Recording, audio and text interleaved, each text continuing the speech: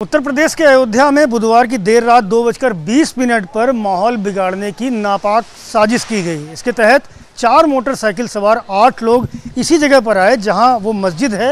इस रास्ते से गुजरते हुए मोटरसाइकिल सीसीटीवी फुटेज में कैद हुए हैं।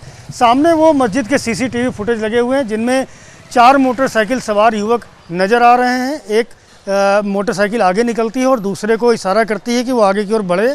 उसमें से एक युवक उतर करके और कुछ आपत्तिजनक सामान मस्जिद की जो सीढ़ियाँ हैं, इन पर आकर के रख जाता है। इसके बाद में लगभग तीन बजे के आसपास मस्जिद में मौजूद लोगों को इसकी जानकारी होती है। आनंद फानन में उस पैकेट को खोल के देखा जाता है। तो उसमें धर्म ग्रंथ के विरुद्ध अपमानजनक बातें लिखी गई थी।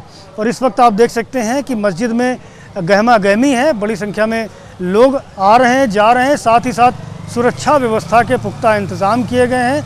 पुलिस को सूचना दी गई। पुलिस तत्काल मौके पर पहुँची और आ, लोगों से पड़ताल की जानकारी की। सीसीटीवी फुटेज देखा गया। आप देख सकते हैं यहाँ पीएसी का पहरा बिठाया गया है। इसके अलावा लोगों को ताकीद किया गया है। पुलिस और प्रशासन के अधिकारियों ने जो धर्मगुरु हैं उनसे भी चर्चा की उनसे बात की और उनसे समझा कि आखिरकार पूरा ये वाक़ क्या है ये क्यों किया गया है।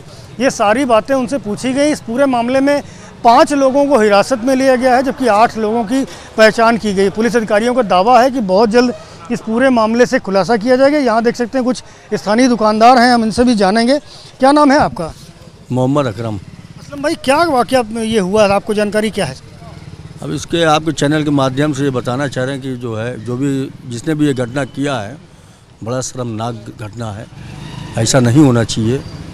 और जो कि फैजाबाद अयोध्या जो है बड़ी तहजीब की जगह है। मगर चूँकि कुछ लोग ऐसे हैं कि जो शहर को आग लगाना चाहते हैं। बड़ा गलत काम किया बहुत गलत काम किया। इसकी निंदा कम की जाए तो कम है क्या वाक़या हुआ था? आप लोग को जानकारी कब मिली कैसे मिली? क्या घटनाक्रम था पूरा? यहाँ रोज़ा अवतार तराबी चल रही है। आजकल करीब दस दिन का एहतिकाब पे लोग बैठ रहे हैं। जो दो बजे डेढ़ बजे रात को उड़ जाते हैं उन लोग। उसी की पीरियड दो बजे टीम जो है चार मोटरसाइकिल आती है। जो गलत मांस कटा हुआ और कुरान शरीफ फटा हुआ, और भी बड़े अपने नबी के ऊपर जो है गलत बयान देना, वो सब यहाँ पर ला के फेंक के और चार मोटरसाइकिल दस भागती है। शहर में ये करीब घटना जो है, दस जगह या आठ जगह हुई है। मगर ये आपके चैनल के माध्यम से बताना चाह रहे हैं कि जो ये रमज़ान शरीफ के टाइम और ये रोज़ा के टाइम, इबादत के टाइम, इस तरह से ये घटना देना करना बहुत गलत चीज़ है। रमज़ान का पाक महीना चल रहा है मोटरसाइकिल सवार जो लोग आए थे यहाँ पर उनके सीसीटीवी फुटेज कवर हुए हैं। उसमें देखा गया है कुछ लोग टोपी लगाए हुए हैं। क्या लगता है कौन हो सकते हैं? अब टोपी तो आप भी समझ रहे हैं अब जो कि आपको क्या बताना आप भी समझ रहे हैं कि माहौल को ख़राब करना है। क्योंकि शांतिपूर्वक माहौल चल रहा है ये रमज़ान का महीना। माहौल को ख़राब करना है बस ये टोपी लगा के मास्क लगा के और चाहे हिंदू हो चाहे मुसलमान हो अपने धर्म में इस तरह से गंदा हरकत नहीं करेगा।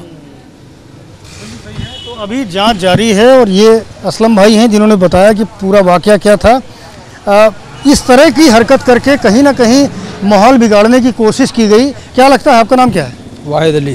भाई भाई क्या लगता है ये जो घटना हुई है इसका मकसद क्या हो सकता है? इससे मतलब यहाँ पर जो है हिंदू मुस्लिम का जो एकता है वो बरकरार रहनी चाहिए और मुसलमान और हिंदू दोनों एक साथ रहता है यहाँ के ऊपर। कोई लड़ाई झगड़ा नहीं, चाहे इतना बड़ा मुद्दा यहाँ पर आया हो, लेकिन कभी जो है कोई भेदभाव नहीं हुआ।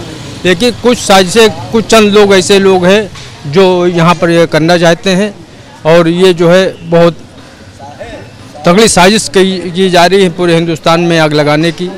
जी, जो कि ये पाक साफ़ महीना है, इसमें मुसलमान जो है अपनी इबादत में जो है एकदम जो है मशगूल है, उसमें जो है कोई वो नहीं ना, और मुसलमान ये सब कर, करना नहीं चाहता है। मुसलमान इस वक्त रमज़ान का महीना है इबादत में मशगूल हैं। कुछ और लोग हैं हम उनसे बात करेंगे। ये साफ़ हो चुका है कि यहाँ ये जो लोग कुछ नापाक साजिश करने की कोशिश की गई कल यहाँ पर क्या लगता है आपको? हमको हम हम यहाँ नहीं रहने वाले हैं भाई यहाँ। जी। लोगों ने ऐसी कोशिश की कि झगड़ा हो जाए हिंदू मुसलमानों में? अपने नहीं मालूम आते भाई।